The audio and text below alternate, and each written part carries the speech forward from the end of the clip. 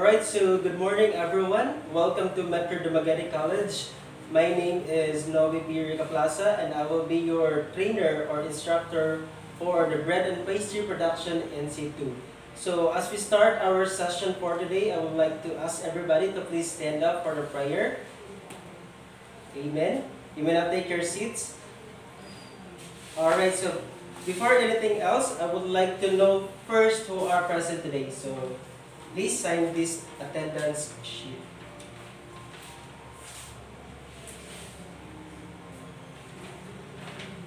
Alright, so are you done? Okay, thank you. And I also have here data gathering tool. So this will help me know your profile, your characteristics, your learning styles, and this data gathering tool will be my guide in making your training activities. Alright, so you have 10 minutes to accomplish this.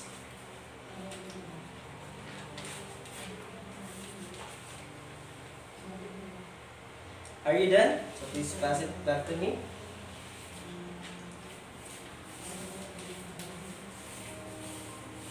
Alright, so I also have here your self-assessment checklist. In the self-assessment checklist, this will help me identify your current competencies and the competencies that are needed in each one of you. So that the competencies that are already acquired will no longer be repeated. Alright, so you have 10 minutes to accomplish this.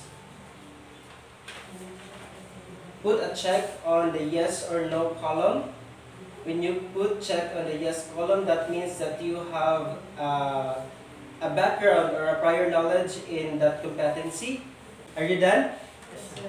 Okay, please pass it. Alright, so I also have here a pre-test. So this is a written test. This will test your underpinning knowledge on the on your qualification, the bread and pastry production. So this is a 40, 40 item test. So, what's your time is up. Are you done? Yes, sir. Alright, so please pass it in front. Okay.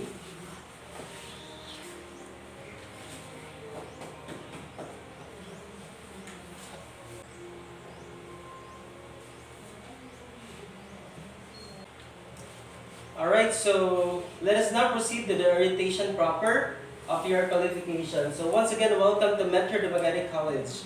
So let me just give you a short or a brief background of MDC. So MDC is founded and owned by Mr. Alfredo S. Manila together with his beloved wife, Dr. Dalma Manila. So this is the Metro Dumaguete College.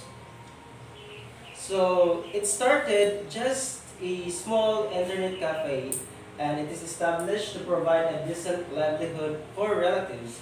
Now, it is an accredited test learning center that provides quality technical education and skill development and together with this that helps on the promotion of middle level manpower development.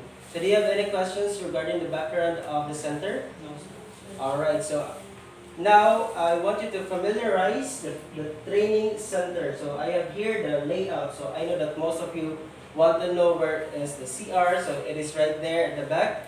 Alright. So, any questions with the layout? Alright, so let's start our discussion for today with the competency-based training. So what is CBT? Uh, Mariana, please read the first paragraph. CBT is a training that is designed to allow learner to demonstrate their ability to do something. In CBT, the unit of progression is mastery of specific knowledge and skills, and it is a learner participant centered. Alright, so thank you. So meaning to say, it emphasizes um, of what the learner can do rather than on the learning processes. So do you have any questions with uh, CBT? No, sir. Alright, so we have here the 10 principles of competency-based training. The first one is the training is based on curriculum developed by the competency standards. Therefore, we have a training regulations that is followed in this qualification. Next is learning delivery is learner-centered and should accommodate individualized and self-paced learning. Meaning to say, I'm talking about learning center that the learners, you will do the learning activities and I will just be here facilitating you.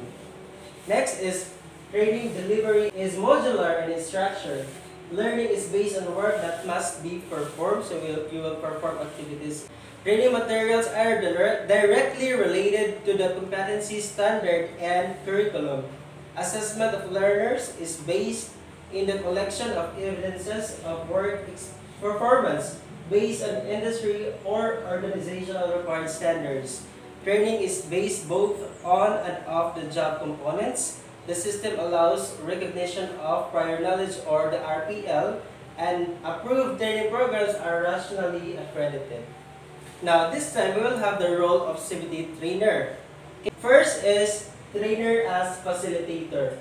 So I am just facilit I'm just here to facilitate you. This is a discovery learning. Next is trainer as counselor. So whenever you need some pieces of advice, you can consult your trainer. And trainer as a role model. And we also have role of trainees. So trainees will select what, when, and how they want to learn at their own pacing. So compete again, against present job standards and evaluate their own progress. Alright, so we also have there the training activity matrix and of course your achievement chart and your progress chart. Alright, so now we will have the nine CBT areas or workstations. So first is the contextual learning laboratory. This is where we are right now. So we also have uh, this learning resource area. Alright, so we have here the learning resource area in which you will uh, study your information sheets. Here uh, we have practical work area in which you will do your task sheet.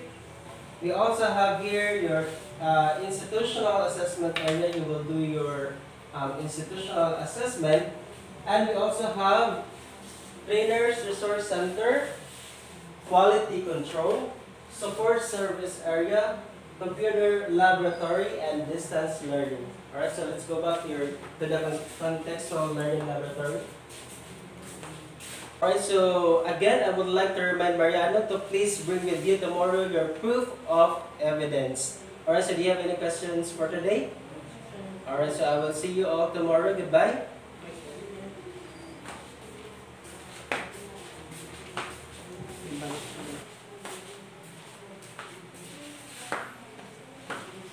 Alright, so good morning, trainees.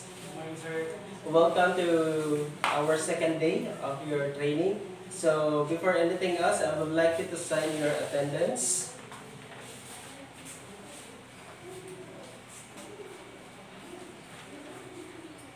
Are you there? Thank you.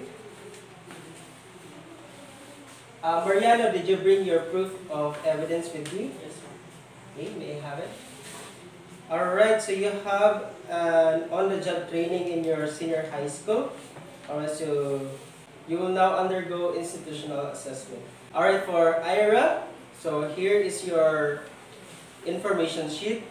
Uh, please proceed to the learning resource area, study information sheet 1.1-5, and please do answer the self-check and compare your answer with the answer key. Okay? For Mariano, you will be undergoing uh, institutional assessment. So please proceed to the institutional assessment area. Alright, so Mariano, are you now ready for your institutional assessment? Yes. Alright, so here's your written test. Your timer starts now.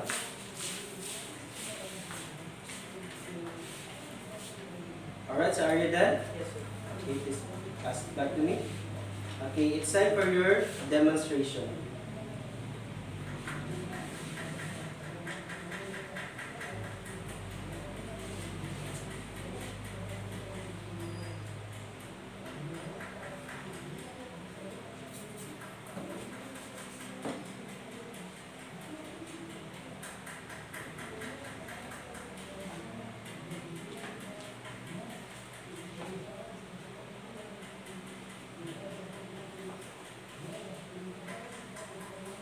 Okay, time is up.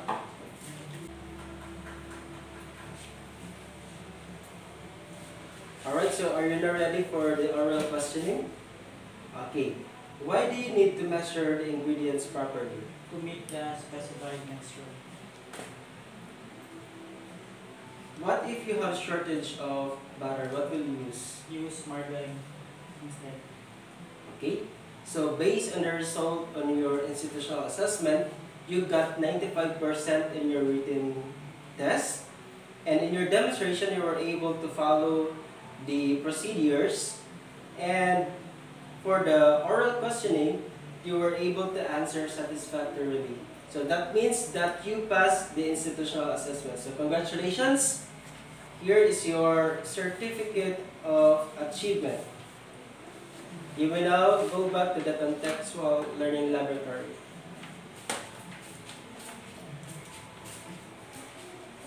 Hi, Ira. So, are you done with the, studying the information sheet? Yes, sir. Okay, um, did you answer the self-check? Yes, sir. Did you compare it to the answer key? Yes, sir. Alright, so may I see? Very good, you got perfect score in your self-check.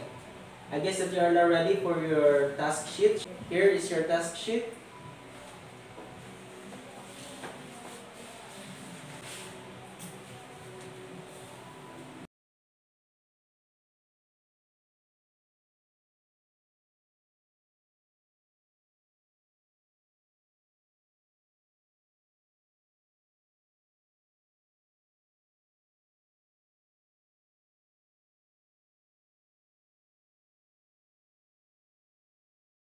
Alright, so I can see that you're having a problem with your task sheet in sifting the flour.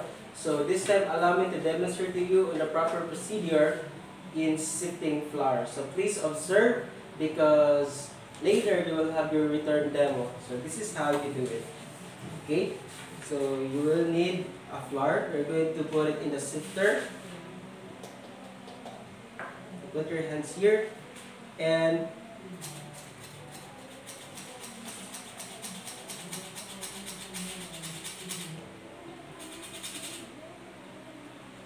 That's it. So did you observe well in my demonstration? So are you now ready for your return demo? Yes, sir. Alright, so go.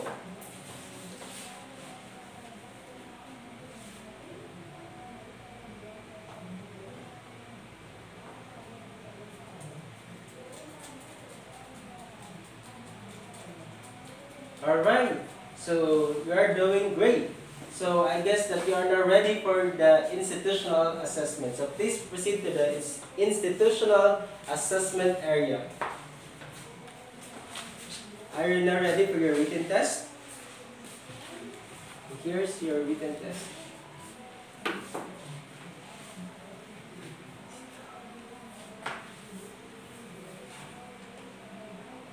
Time is up. Alright, so it's time for your demonstration.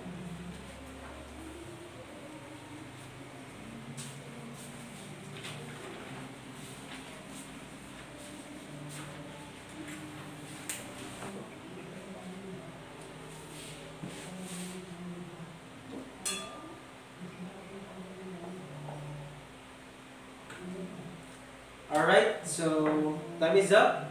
Let us now proceed to the oral questioning.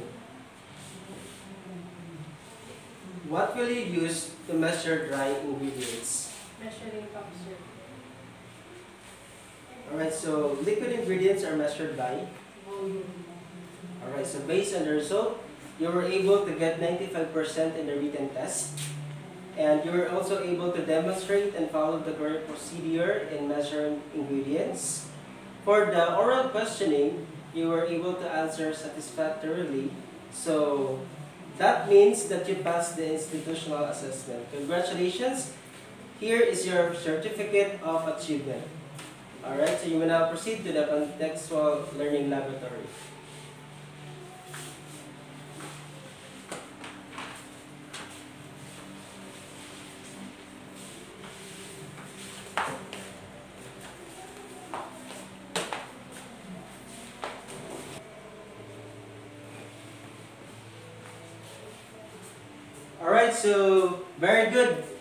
Job, everyone. You were able to pass the institutional assessment on the first competency. And your performance has been recorded in the progress chart and in the achievement chart. Alright, so before you go, so please don't forget to sign your attendance.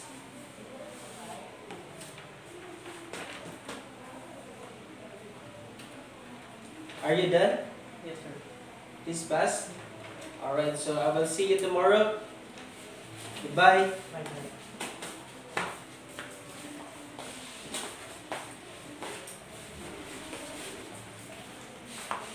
Alright, so good morning, trainees. Good morning, sir. How are you today? We're good, sir. Okay, very good. Uh, it's it's good to know that because today we, we will be having an institutional assessment. So let me know whenever you are ready for the assessment. Alright, so Mariana, are you now ready for the institutional assessment? Alright, so please proceed to the institutional assessment area.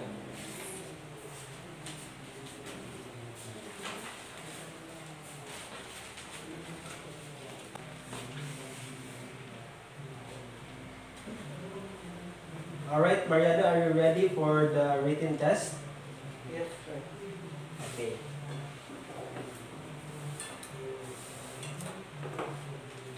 Here is your written test.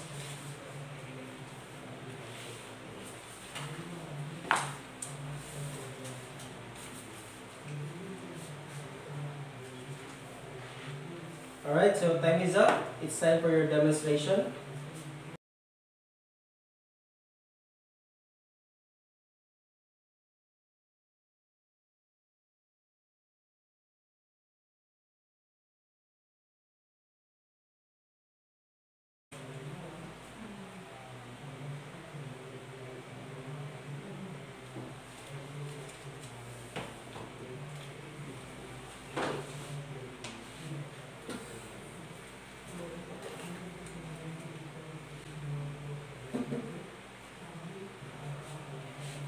Alright, so are you done?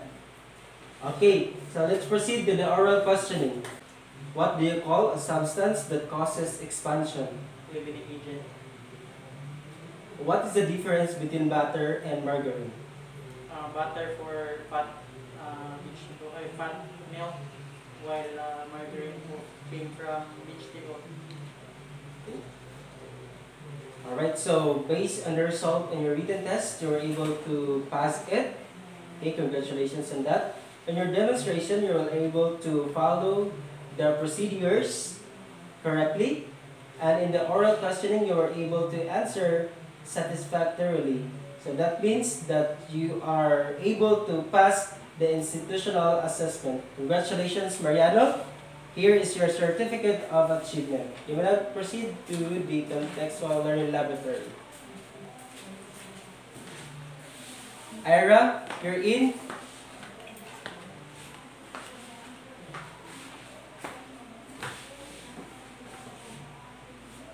Are you now ready for your written test?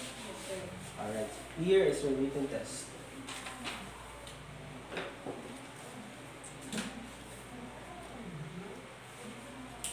Okay, time is up. Please proceed to your demonstration.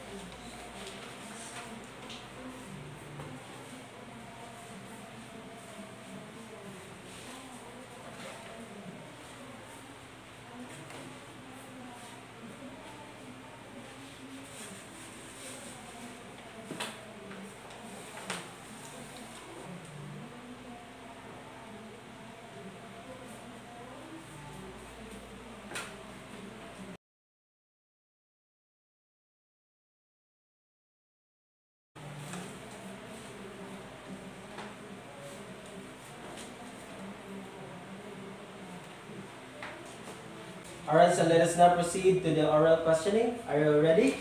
Yes, sir. Okay, so why do you need to rest the dough after kneading? To double its volume. How do you check the doneness of the bread or cake? Use skewer or if golden brown. Alright, so let us now proceed to the feedbacking. Alright, so based on the result, uh, you were able to get 95% in the written test. So that is very good. In your demonstration, you were able to demonstrate, perform the task correctly. And in the oral questioning, you were able to answer satisfactorily. So that means that you are, that means that you passed the institutional assessment. So congratulations. Here is your certificate of achievement. Please proceed to the contextual learning laboratory.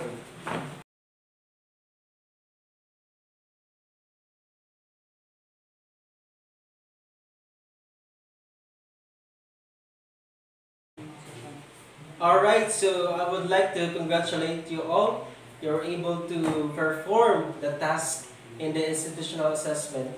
Congratulations once again. With this result, I presume or I consider you to be competent enough and that I will recommend you to undergo the national assessment.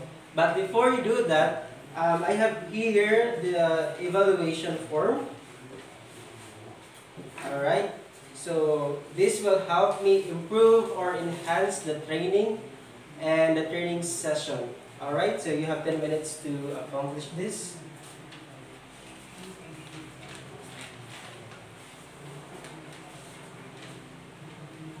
Are you done? Yes. This pass?